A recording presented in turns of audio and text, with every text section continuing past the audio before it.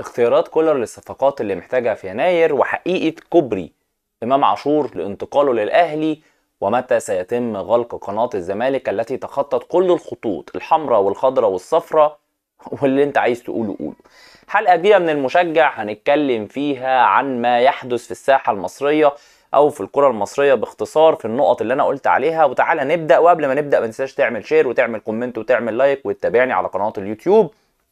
ولكن خليني أقول لك بداية كده إن مستر كولر بعد ما جاب الجهاز الجديد اللي هي اللي بيساعد على تدريب اللعيبة على ضربات الرأس وده إن ده اللي بيدل على إن الراجل ده جاي يشتغل الراجل ده مركز في كل تفصيلة الصغيرة قبل الكبيرة. خلينا نقول إن الراجل حدد الصفقات اللي هو محتاجها في يناير أو بلغ الإدارة بإن هو محتاج إيه من الأجنحة أو من المهاجمين. الراجل حدد الراجل حدد. لكن خليني أقول لك إن الراجل بعد ما حدد أي حد هيطلع يقول لك الراجل قال كذا أو في اسم كذا أو الاهلي بيتفاوض مع كذا هو بيجتهد. يا بيجتهد يا بيألف من الآخر يعني. يعني من الآخر هيطلع يقول لك 30 40 اسم واللي يضرب فيهم يطلع يقول لك أنا عملت السبق. غير كده مفيش. محدش يعرف. محدش يعرف. محدش يعرف الاهلي بيتفاوض مع مين إلا القليلين جدا والقليلين جدا دول والأسامي القليلة جدا دي. اللي تعرف مش هتطلع تتكلم دلوقتي ومش هتقول.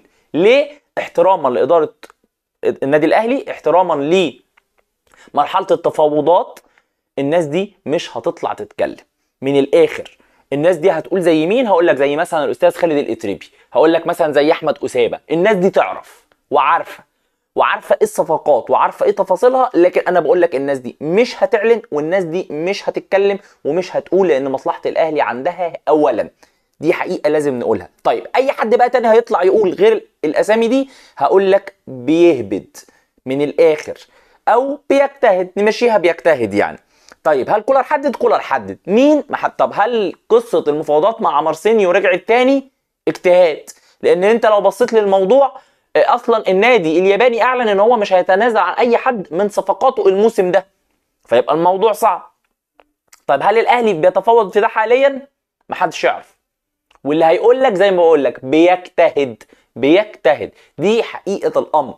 أو خلاصة القصة بتاعه كولر والصفقات والتدريبات. لكن كولر خلينا نقول إن إحنا لغاية دلوقتي بنتكلم في راجل بيركز في التفاصيل الصغيرة قبل الكبيرة راجل ماشي على خطوات ثابتة. راجل أنا بقول لك أهو هتشوفوا معاه نسخة إن شاء الله بإذن الله. لو يعني ربنا كرم بعد كرم ربنا.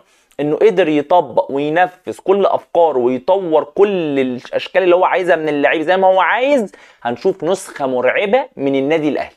هنشوف نسخة مرعبة من النادي الأهلي.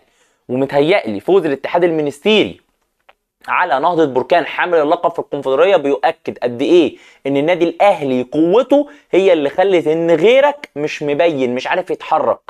قوة الأهلي اللي فاز على الاتحاد المنستيري وبعض اعلاميينا أو أغلبية إعلاميين طلعوا قللوا من قيمة الاتحاد المنستيري ومن قوته عشان ما يقولوش على عبقرية كولر وعلى إمكانيات كولر الفنية اللي قدرت تحجم الاتحاد المنستيري بره وجوه على أرضه وداخل مصر بتؤكد بالنتيجة دي وبفوز الاتحاد المنستيري على نهضة بركان حامل اللقب الكونفدرالية وبطل السوبر وبطل السوبر اللي كسب الوداد بطل أفريقيا اللي كسب الأهلي بالقصة اللي عارفينها والجواب اللي اتخبى الاتحاد المنستيري بيطلعه من البطولة الكونفدرالية وبيخليه ما يوصلش حتى لدور ال 16 ده ان ده اللي يدل على كولر اللي كل في ماتشاته زي ما شفناها عارف بيستخدم عناصر إيه عارف بيشارك مين ما بيشاركش مين وشفنا ده. أنا بالنسبة لي شفت خططه التكتيكية في أكتر من مباراة في كل المباريات اللي لعبها الراجل ده بيتكلم تكتيك ومعاه لعيبة بتقدر تنفذ ده.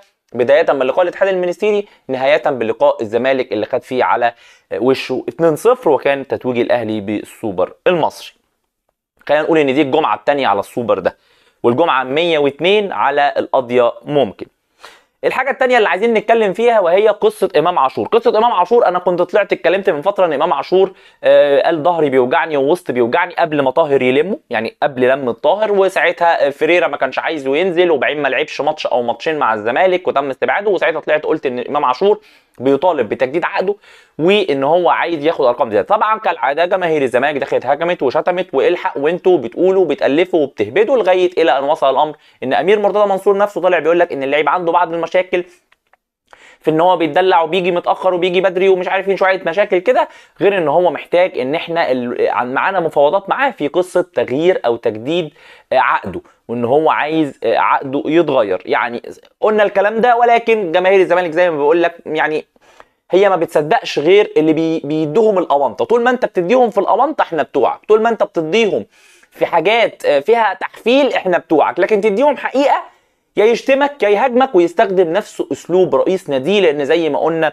هم لايقين جدا على بعض إن كان إدارة أو جماهير. فعلا هم إحنا في حقبة زمنية بتقول إن الأجواء العامة دي بتقول إن ده نادي وده جمهور لايقين جدا على بعض كما يقال يعني أو كما نرى من الح... من الحقيقة. فإمام عاشور دلوقتي هما معاه في قصة تجديده ولكن خليني أقول لك الجديد. الجديد إن إمام عاشور مش قادر يوصل معاهم أو مش قادر يوصل معاهم لاتفاق يرضيه من الرقم اللي هو عايزه في تجديد عقده لأن هو لعيب بياخد من 3 ل 4 مليون في الموسم. وهو شايف ان أنا لعيب منتخب وشايف ان أنا لعيب دلوقتي من أهم اللعيبة في الزمالك وخلينا نقول إن ده حقيقة. إمام عاشور من أهم اللعيبة في الزمالك ومن اللعيبة اللي بيعتمد عليها الزمالك في خطته وأنا بشوفه من أهم اللعيبة في الزمالك أو من اللعيبة المؤثرة في نادي الزمالك وإنه لعيب عنده خامة كويسة ويعتمد عليه وبدليل إن هو بيلعب في المنتخب وفعلا لعيب آه، مؤثر في آه، الزمالك. طيب هل إمام عاشور جاي الأهلي؟ لأ. هل الأهلي بيتفاوض مع إمام عاشور؟ لأ. هل ال ال ال ال النادي الأهلي حصل ما بينه وما بين إمام عاشور أي تفاوض؟ لأ. هل إمام عاشور هيسافر سنة أو سنتين ويرجع منهم على الأهلي حتى وقتنا هذا؟ لأ. طيب إيه اللي بيحصل؟ اللي بيحصل؟ إن كالعادة إمام عاشور أو وكيل إمال وكيل أعماله قرر إن هو يلعب اللعبة دي يضغط على نادي الزمالك وعلى جماهير نادي الزمالك بالقصة بتاعت إنه الحق ده الأهلي عايزه ده الأهلي هيطلعه كوبري ويرجع تاني على النادي الأهلي. طبعا القصة دي هتخلي نادي الزمالك يتفاوض بالرقم اللي عايزه إمام عاشور. فمن الآخر دي أخبار طالعة من وكيله طالعة منه هو شخصيا ولكن الأهلي ملوش أي علاقة بالقصة دي ولا طرف في الموضوع ولا متداخل في الموضوع. إمام عاشور أنا بقول لك أهو هيجدد للزمالك. هيجدد للزمالك. ولكن اللي بيحصل ده بيحصل بس من باب إنه ياخد الرقم اللي هو عايزه. من باب الضغط. لأن هو زي ما نادي الزمالك لعب معاه لعبة أنتوا عارفين طبعا إدارة الزمالك بتلعب دايما اللعبة بتاعت إنه يسلم اللعيب للجماهير. يعني زي ما إحنا برضو طلعنا الحمد لله وطلعت قلت هنا في المشجع إن طارق حامد بيتمارض وإن طارق حامد ماشي. والناس برضو طلعت شتمت وهجمت وما شفناش حد بعد كده طلع اعتذر ولا أنا آسف أنت كنت صح. محدش عمل ده. ولكن مش مستنيين منهم ده. ولكن خلينا نقول إن ساعتها بعد كده في الآخر بقى لما طارق بان إن هو مش هيمضي فسلموه للجماهير. نفس الكلام بيحصل مع امام عاشور. مسلمينه للجماهير ده بيعمل مشاكل ده ما بيحضرش ده لون شعره ده مش عارف مين ده تصرفاته ده بيجي متأخر ده بيتمارض بحيث إن هم يضغطوا على اللاعب من في وسائل الإعلام طبعا زي ما أنتم عارفين على عكس ما يحصل في الأهلي. في الأهلي بقى يتم مهاجمة الإدارة إزاي لعيبة زي ياسر إبراهيم وزي أيمن أشرف وزي الشحات لغاية دلوقتي الأهلي ما فوضهمش ما جددهمش دول ممكن يمشوا دول ممكن في يناير يمضوا ببلاش. نهاجم الإدارة لكن لكن في الزمالك نهاجم اللعيب ما نهاجمش الإدارة. الإدارة صح. الاداره جميله لكن اللعيب هو اللي عنده المشكلة. ليه؟ عشان نضغط عليه ونسلمه للجماهير. فاللعيب قرر يلعب نفس اللعبة وقرر إن هو يضحك عليهم بقصة إن أنا رايح الأهلي أو الأهلي عايز يفوضني أو الأهلي هيطلعني كوبري عشان يجروا يلحقوه عشان ما تكونش ضربة جديدة وقفة جديدة لمجلس إدارة الزمالك ولكن إحنا بس حبينا نوضح. حتى وقتنا هذا الموضوع ده ليس له أساس من الصحة عشان لما إمام عاشور يجدد للزمالك ما حدش يطلع يقول لك شفتوا خدناه من الأهلي لا أنت لا خدته من الأهلي ولا نيلة. هو لعيبك أصلا وأنت بتساومه وهو بيساومك دي قصتكم مع بعض يعني دي حفلة عيشوها مع بعض ودروها مع بعض. الأهلي لا طرف والأهلي مع كامل احترامي لإمام عاشور ومع كامل احترامي للزمالك ومع كامل احترامي للجميع مش في حاجة لده. أنا بديك على وشك وعلى عينك في وجود إمام عاشور وفي وجود فرجاني ووجود بن شرقي وبوجود طارق وفي وجود حازم إمام وفي وجود عبد الحليم علي وجمال حمزة وكل كباتنك التاريخية من أول ما اتخلق التاريخ لغاية النهاية أنا بديك على عينك بالستة. منهم الستة صفر اللي أنتوا آه، يعني عارف إن الموضوع ده عامل حالة صياح شديد عند جماهير الزمالك والحقنا إزاي كسبونا 6-0 في سنة 1925 فأنا بقول لك يعني أنا كده كده كسبك 6-1 وأنا شايفها بعيني. يعني لو أنت عندك مشكلة في 6-0 فأنا مديك 6-1 وإحنا كلنا حاضرينها. سلام عليكم صباح الخير. آه، بسم الله الرحمن الرحيم. الهدف الأول رضا شحاتة. دي كلنا ده إحنا حافظينها شفناها. شفتك وأنت بتاخد 5 3 الحاج بيتسو موسيماني ابقى كان فريق صغير. شفناها. شفتك وأنت بتاخد 2 1 في القضية ممكن. شفتك وأنت بتاخد 4 2 ب... في كأس أفريقيا. في المجموعات كعب أبو تريكة وشوطة وليد سليمان. يعني شفنا آه، كلام كتير آسف العكس. كعب وليد سليمان وشوطة أبو تريكة. فده حاجات إحنا عصرناها وشفناها فأنا مش محتاج أرجع ل 25 عشان أحفل عليك. أنت كده كده حفلتي. أنت كده كده زبوني. فاهدى يعني أنت زبون دائم. فمتضايق ليه؟ متضايق ان اتضافت نتيجة 6-0 طب الكلام ده على فكرة موثق والكلام ده داير من 2017 تم نشر الوثائق دي. ولكن برضه مش قصتنا الأساسية. أنا بس حبيت أوضح إن الأهلي مش طرف في قصة إمام عاشور عشان القيل والقال يعني. طيب آخر حاجة بقى عايزين نتكلم فيها هي نقطة سريعة جدا وهي نقطة قناة نادي الزمالك. ما حدث على قناة نادي الزمالك امبارح تعدى كل الخطوط. وأنا بسأل الأستاذ كرم جبر وبسأل الدولة وبسأل كل الناس حتى لو مرتضى كلنا عارفين إن هو بيتم استخدام رئيس نادي الزمالك ككارت من الكروت وإن هو بيتم استخدامه إن كان رياضيا أو سياسيا أو إن هو ليه دور. بي يعني الدولة بتستخدمه في دور ما. ما عنديش مشكلة ومش قصتي ومش نقاشي ومش ده اللي فارق معايا ولكن أتمنى ان أنتوا تفهموا ان الدور كده بهوى وان الموضوع كان صعب جدا لأن اللي حصل على القناة امبارح مش فكرة ان إحنا بنطلع ن... نخلي الناس مشغولة في الكورة أو نخلي الناس بتتخانق مع مش عارف مين لا اللي حصل امبارح ده تخيل ان انت تبقى قاعد بتتفرج على حلقة كل اللي بيحصل فيها هو سباب وشتائم وألفاظ جنسية و... و... وتعبيرات جنسية و... و... وكل اللي انت عايز تقوله قوله. امبارح ده حصل على الهوا لدرجة ان حتى سب الدين حصل امبارح. يعني حتى سب الدين حصل امبارح. انت متخيل انت متخيل الموضوع وصل لإيه امبارح؟ آه الموضوع امبارح وصل لكده وأنا بس عندي تعقيب بسيط مهم. هو كان كل ما يتكلم على حاجة أو كان بيعرض بعض الحاجات لبعض الناس اللي هم بيحاولوا يهاجموا مصر أو يهدموا استقرار مصر وكان بيهاجمهم ما عنديش مشكلة لو ده دوره ما عنديش مشكلة في ده تماما ولكن أنا مشكلتي في حاجة تانية خالص إن هو كان كل ما يعمل ده فيجي في النص يقول لك إيه أنا ما بدافعش عن رئيس الدولة لأن أنا على آخري أنا هنا الجملة دي اتقالت حوالي مثلا 12 13 مرة في الساعة اللي أنا شفتها اللي أنا نمت أنا سقطت وراحت عليا نومة وأنا قاعد بتفرج عليه فهو أكتر من 12 13 مرة سأل يعني قال الجملة دي أنا ما بدافعش عن رئيس الدولة لأن أنا هنا ومش عايز أتكلم أنا هنا ومش عايز أتكلم. فهو السؤال هو بيعاير الدولة بإيه؟ وماسك إيه على الدولة؟ بيقول أنا هنا ويقصد إيه بأنا هنا؟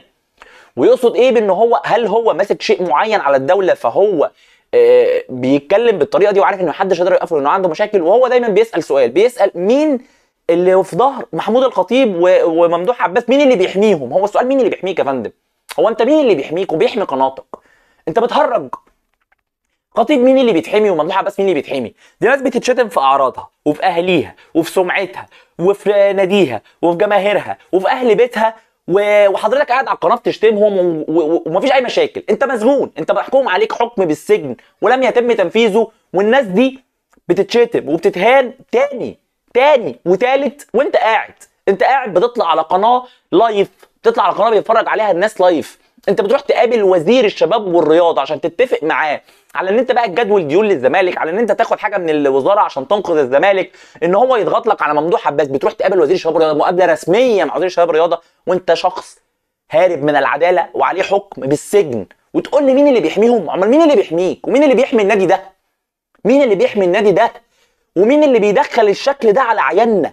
إحنا إزاي نبقى قاعدين؟ والله ان امبارح قاعد بسمع وماسك الريموت بقى بنتي صاحية قاعد بسمع الريموت. يشتم اجرأ ألحق أوطي ألحق أوطي. بعدين قومي بقى قومي. واقعدي في أوضة ثانية ما هو ما, ما بي يعني مهما تخيلت بيهاجم الخطيب بيهاجم ممدوح عباس بيهاجم شوبير بيهاجم الناس. لكن امبارح كم من الألفاظ مش ممكن مش ممكن لو انت فاتح قناة في الشارع في الشارع لو انت في شارع كده وانت فاتحه مدخله على بيتك مش هتسمع كم الألفاظ والسباب اللي اتقال امبارح. كل الألفاظ كل اللي انت ممكن تتخيله ما تخلقه بقول لك حتى سب الدين اتقال امبارح. ففين يا جماعة؟ فحتى لو الراجل ده بيستخدم أكيد ما بيستخدمش ب ب ب بالشكل ده. أكيد يعني هيطلع آه يهاجم الناس دي ويعمل وده دوره. ماشي. بس برضه راعوا ألفاظه اللي خارجة علينا.